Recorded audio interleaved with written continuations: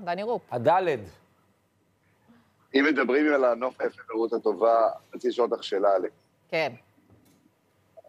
מה את דני, אומרת על היי. הנוף היפה שבצד, שבצד ימין שלך, ששינה לוק, משקפיים, סריג יפה, אני, איפה אה, עניבה? אתה מוזמן להיכנס, איפה- סליחה, אנחנו שוב נכנסים על ה- ל- לפוליטיקה והברנז'ות, אתה מוזמן להיכנס לסקר, לסקר של אטילה ולקרוא לזה אה, שלייקס ולא שיק, אז אה, יש סקר בסטורי של אטילה. אני, אני, אני, אני מאוד אוהב את הלוק הזה, גם השריג, גם המשקפיים, תקשיבי, אני יותר מאמין לו ככה, אני לא יודע למה.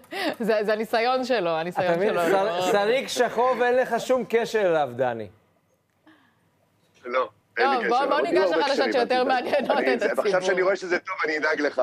טוב, אוקיי, אני הייתי חייב פשוט, לא יכולתי. ברור. אה, אז ככה, קודם כל, אה, קר בחוץ, אה, מי שרואה את השמש בחוץ זאת שמש שקרנית.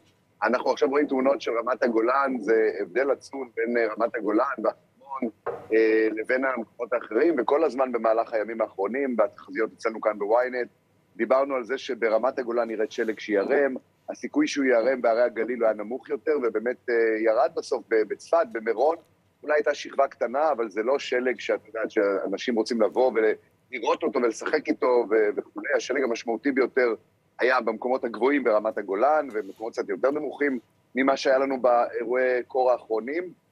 אה, לגבי ירושלים וערי המרכז, חיכו, חיכו, חיכו, אבל זה היה די ברור מההתחלה שמבחינת התזמון של המשקעים, יחד עם הטמפרטורה הנמוכה, זה לא ייתן לנו הרבה שעות של חלון הזדמנויות אה, לשלג של ממש. התמונות שראינו של שלג זה בעיקר במקומות הגבוהים. ירושלים הרי מתחילה ב-780 מטר ומגיעה ל-840, יש הבדל מאוד גדול בעשרות מטרים האלה, לכן חיים עמד קודם בהר גילה, הר גילה זה כמעט הנקודה הכי גבוהה בירושלים, ושם הרבה פעמים רואים שלג, כש-50 מטר מתחת לזה רואים שלג מעורב בגשם או ברד-רך, או כל תופעות אחרות. זה לא נערם כי זה לא ירד, אה, זה לא, אה, המערכת הלכה והסתיימה עם כניסת הקור והתזמון לא היה מושלם, ולכן ראינו פתיתים באוויר, הרוב הפתיתים היו מעורבים בגשם, וזה נגמר כבר במהלך שעות הערב המאוחרות בעצם, השיא היה אחר הצהריים בחמש-שש, וזה חלף, והעננים, ברגע שהם התפזרו מעלינו, הקור עוד יותר חודר. זאת אומרת, יש הרבה מקומות בארץ שבשעות הבוקר, אה, במיוחד ברמת הגולן, בצפון, כבישים חסומים לא בגלל שלג, אלא בגלל קרח שמצטבר על הכביש.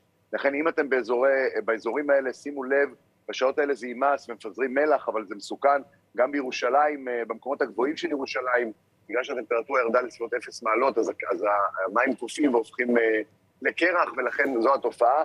היום באופן כללי יש נוף מטורף, האוויר צלול ונקי וקר, אתה מרגיש ממש אירופה בחוץ, אה, הטמפרטורות נמוכות, השמש שקרנית, הלילה הזה יהיה לילה קר במיוחד, עם קרה בעמקים וקרה במקומות הגבוהים, יהיה פשוט קפוא בלילה הזה, כמו שהיה לנו ביום ראשון ושני בלילה, אז uh, יהיה לילה מאוד מאוד מאוד מאוד קר, וסוף השבוע אנחנו נוכל ליהנות, מי שיגיע לצפון, אני מאמין שבמקומות הגבוהים, כמו בהר אודם, כמו אה, אה, ב- ב- כמובן במג'דל שמס, כמובן שבחרמון, אה, השלג אה, כמובן שם יישאר, כי הטמפרטורות יישארו נמוכות למרות העלייה בטמפרטורות.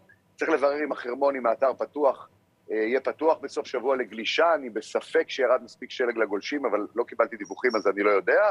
וכרגע סוף שבוע עם עלייה בטמפרטורות, יופי של מזג אוויר, קצת לנוח מהקור והגשם והשלג, אבל שבוע הבא, אה, אלכס ואטילה, עושה רושם שנקבל שבוע מאוד פעיל מבחינת מזג אוויר. אה, כבר ביום ראשון אה, בצהריים, אחר הצהריים מתחיל גשם שנמשך לשני, מתגבר בשלישי, מתגבר ברביעי. בקיצור, כמעט כל שבוע הבא יהיה לנו גשם און ועוף, אולי אפילו עוד פעם אפיזודה של שלג במקומות הגבוהים, אבל זה עוד קשה לדעת, אבל שבוע, אחרי מנוחה בסוף שבוע, אנחנו נקבל שבוע עמוס מאוד מבחינת אה, אירועי מזג אוויר בכל הארץ. ודרך אגב, ירדו גם פתיתי שלג אה, בהר הנגב, חייבים לציין את זה, שזה משהו שהוא, אה, כשהטמפרטורה היא מינוס אחד בהר הנגב ויש אה, לחות מספיקה, אז הר הנגב וחלקים ממנה גבוהים יותר אפילו מירושלים, ולכן זה לא מפתיע שירדו שם פתיתי שלג, אה, טוב. גם אה, באזור הנגב. זה טוב, דני. יאללה, מגניב לנו, כל הכבוד, ו... אמ, תודה רבה. נצא לטיול, מה, לא נשב בבית במזג האוויר הטוב סוף. שבוע, כן, בסוף שבוע פשוט, סוף שבוע המלצה שלי, לנצל כל שנייה מהסוף שבוע הזה, גם יהיה מזג אוויר מצוין, וגם שבוע הבא, אנחנו ככה די זה ב- יהיה. תודה, דני.